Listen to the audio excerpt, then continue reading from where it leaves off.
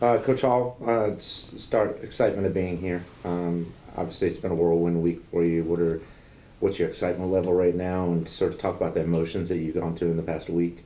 Yeah, I mean, scale of one to ten, my excitement's a twelve. Um, it's been something that me and my family were hoping for going through the process, and as we kind of got down to the end and um, thought it was a good chance, and then obviously getting offered the job. I mean, I've just been itching to get down here. Um, bittersweet, obviously being at Chowan for as long as I have been, but I'm really, really excited to take on this challenge and this opportunity. Now, move into the excitement level, not just you, but the, the, all the women that you live with in your house. Yep. What's been their excitement level over the past week? No, I think they're super pumped as well too. I think just we're at a point in our lives as a family where we kind of knew change was coming, and we wanted to find a really good place. Um, me and my wife Amy, you know, wanted to find the right fit for me, but more importantly, we want to find the right fit for our family, and we feel like we found it here at UNCP. Now, talk a little about your background, starting with your playing career at Urbana. I know I was probably just as surprised as well as this morning. Out what, what position you did play at Yep. Urbana. But talk about your background, what got you to where you are now, starting uh, starting in your playing career. Well, football's always been my first love. Um, I actually played college baseball my first two years. Um, my mom wouldn't let me play football until I was in junior high. So, you know, but football was always my first love as a sport. And um, played college baseball for two years and realized I wanted to do what I love to do, which was play football. So I came back home and went to Urbana and played. And clearly wasn't good enough to make it to the NFL. Um, and I knew you know, I wanted to be around the game, and my the way that I thought I could do that was in coaching. And I've always had a desire to to coach, and I've always loved offensive football, and so just kind of led me to the path of coaching. And you know, here we are, 17 or 18 years later, and I'm here at UNCP. Now, you've had a lot of success with turning around Chowan the past couple of seasons as head coach. Most wins in 39 years. You won a uh, CIAA North Division title. You made an appearance in the CIAA championship game. I asked you this uh, last week on your interview.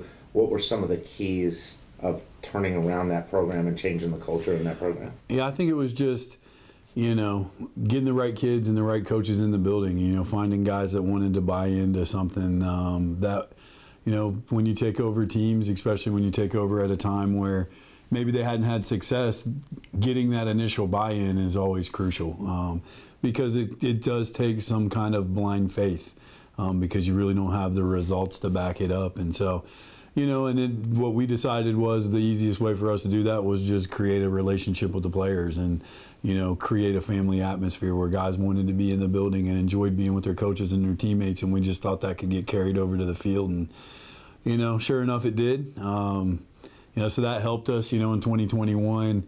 We started off 5 and 0. We ended up making it into the top 25 in the AFCA poll, first time Chowan's ever been ranked. And so it just gives that confirmation to the players like, oh, yeah, these guys know what they're talking about. So, you know, kind of once you win them over and then the results start happening, you know, then you kind of have it and then you just roll from there. So, you know, the, the players there were huge in that regard for me. Is just they believed in what I wanted as a head coach. They believed in what the staff wanted, and it showed up on Saturdays for us.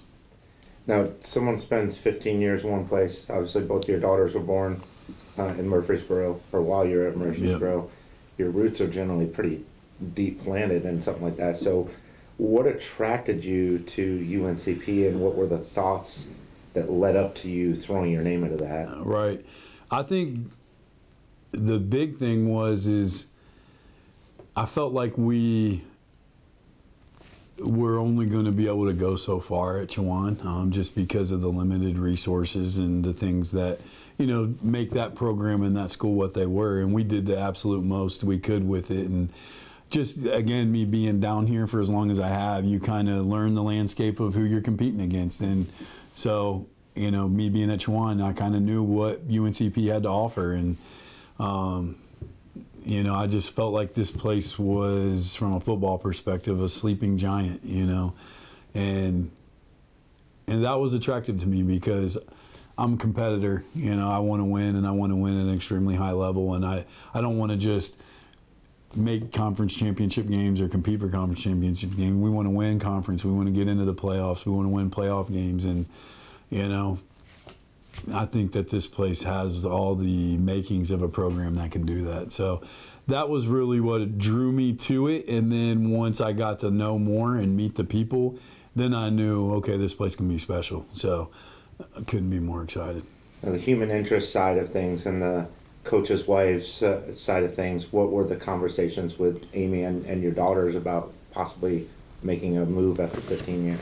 Yeah, again, that's what sold us. Honestly, we got in the car leaving here last week, and um, I think we both just had the feeling that we could fit in well here as a family, and that there was just a bunch of people that were passionate about UNCP in this area in this community, and I think they were passionate about wanting football to be successful as well, and you know, so that's what made it very comforting in that regard of you know what, yeah, we are making this move, but we're going to a place where people are going to care and they're going to support us, and you know we're going to be able to fit in. Our kids are going to do well, and so it, it, checked off all the boxes. So we were we were thrilled about that.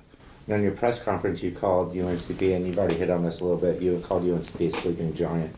What are your thoughts behind that, and what, what makes you label UNCP? Well, I mean, in my time as a Division two coach, if you look at the teams on the national level that are consistent competitors in Division two football, usually there's two, you know, beginning criteria to do that, and that's state funded and fully funded scholarship wise, and you know UNCP provides that, and I'm not, that didn't even get into the North Carolina Promise aspect of it as well. So I think you got the the main things that you're looking for, which is the funding um, that really it takes to be a consistent competitor on the national level. And it's been done here before, and that's always a good thing as well. And, you know, and it hadn't been that long ago either. So it can be done, and I think all the ingredients are there. I think we're just going to have to come in and do the right things and do it together and work at it. And when we get it going, I think that's my expectation is to be a national program. What are your uh 30, 60, 90 day goals uh, as you come in? And I know this day is going by like a whirlwind, but what do you hope once you get settled? What are your 30, 60, 90 day goals? Yeah, I think for us is, you know, the first 30 days is all about the relationships with the players. I mean, get a staff in place, get to get, to know these guys, let them to get to know us, you know, build a, a foundation for a meaningful relationship within the program. And then, you know, 60 days, by that point, we should be rocking and rolling in our strength and conditioning program with Coach Minnie. Um, and what I want is for us to feel good about being able to go into spring ball and guys feel good about being able to compete at the level we want um, those guys to practice at. And then obviously once we hit the 90 day mark, we're going to be close to spring ball being over and the semester being over and kind of getting into the summer. And if we're at the point going into the summer where we feel like we are trending in the right way as a program where you know the kids here have bought in and they're working at the right level that we want and you know we've become the the team that I want them to be and then obviously we feel good about the new people we're bringing in I think we can hit the summer session with a lot of momentum and carry that through into fall camp and then put ourselves in a position to be able to play Fayetteville State now you're the, the, the optimist with your 30, 60, 90 day goals. What do you feel is your biggest challenge? I think in all of that, it's really just because we're dealing with a hundred new people, um, and that's the part of it that there's really no manual that you can pull out and execute off of. It really takes hard work, and some kids are going to buy in immediately and be all about it. Some kids are going to kind of be one foot in, one foot out, and then there's going to be those kids that are going to maybe fight, fight and say, "Well, I'm not sure. I'm not ready to buy in." And so, getting the human element of it all together is the greatest challenge, and maybe we don't get it all together by 60 or 30 days but we don't play anybody in 30 days. So um, we got we got some time to kind of get this thing figured out. And you know, as I told the team today, I want guys to want to be here, and I hope they decide to stay and buy into what we're doing. And I believe if they choose to believe in what we are doing and stay. We'll, we'll win together and they'll look back on their time and be like, I'm glad I, I stuck around for Coach Hall and the new era of UNCP football. You have some conversations to have over the next few days uh, as far as assembling a staff of assistant coaches. Obviously, that's one of your challenges here in the next 30 days as well. Um, what will that process look like for you, and, and when do you hope to have your staff completely filled? Yeah, so we're right in the mix of having the conversations. Obviously, I, I want to have conversations with the guys that are still here, um, and then obviously I got guys uh, that I've worked with in the past that are in the mix as well. Um, you know, my goal with getting that completed is you know, I want to try to have the majority of that done by the time the kids get back here for the semester in January. It might not be 100%, but if we can have our core guys in place, the guys that I'm going to be really leaning on and leaning into to kind of drive the, the new culture and the new way of doing things.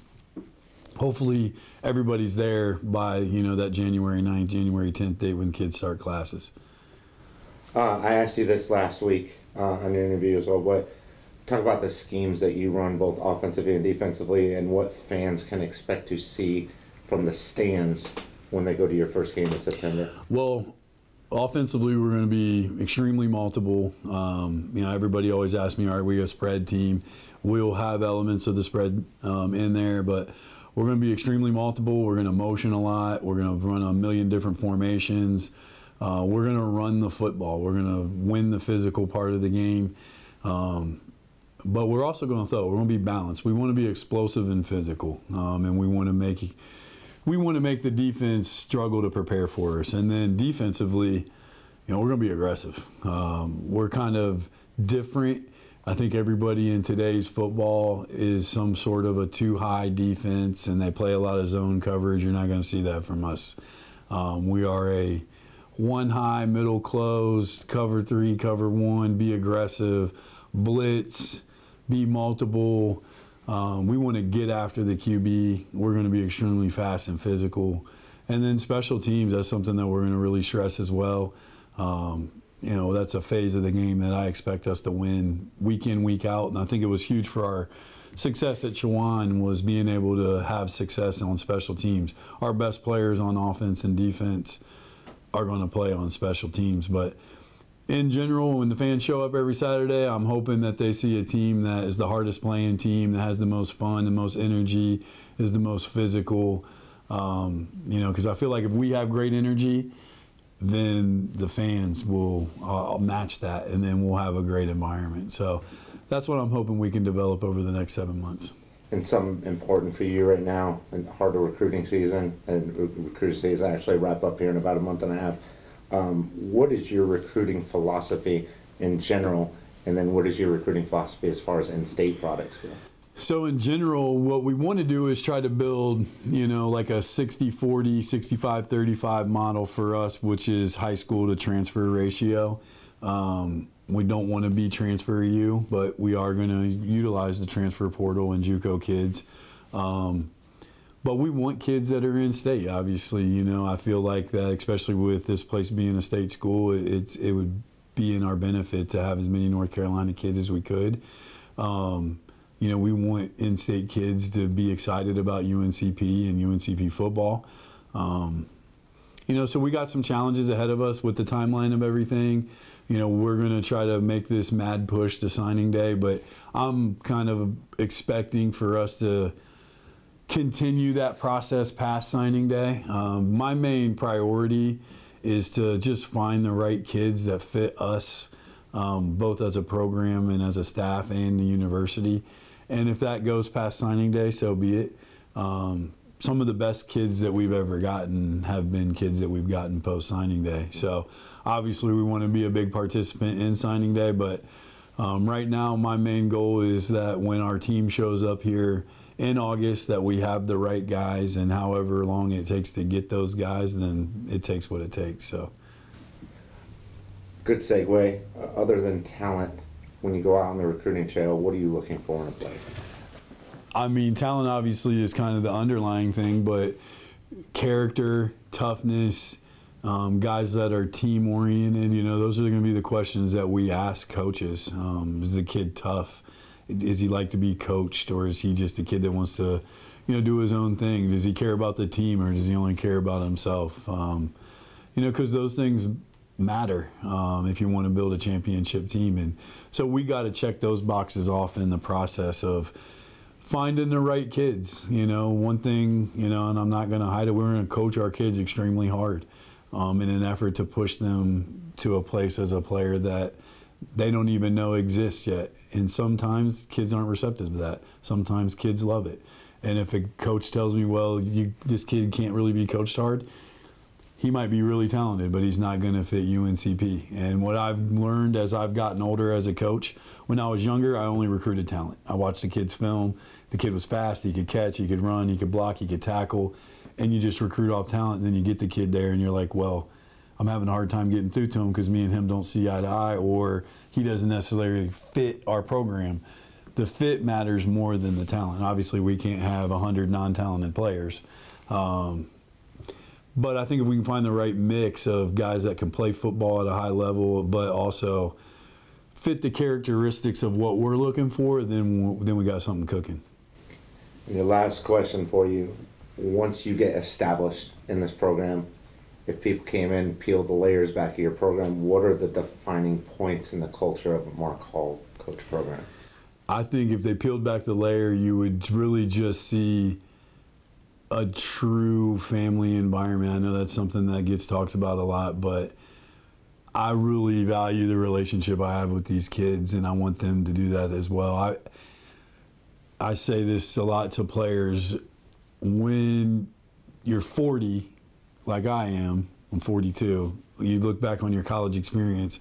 You don't remember the locker room. You actually don't remember all the outside stuff, the thing you remember most are your experiences and the relationships. So we want to make sure that those they leave out of here and those are a, a positive and that they look back on their time and they made their best friends for life and they made memories that you can't take away.